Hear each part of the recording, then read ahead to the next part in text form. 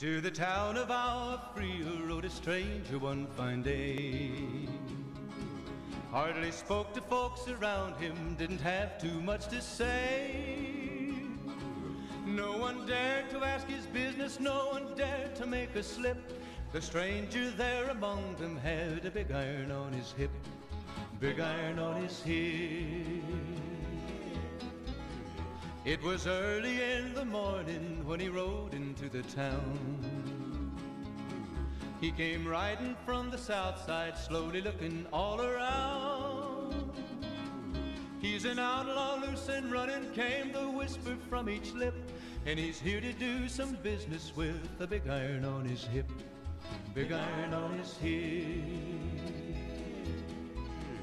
In this town there lived an outlaw by the name of Texas Red. Many men had tried to take him, and that many men were dead. He was vicious and a killer, though a youth of 24, and the notches on his pistol numbered one in 19 more, one in 19 more. Now the stranger started talking, made it plain to folks around.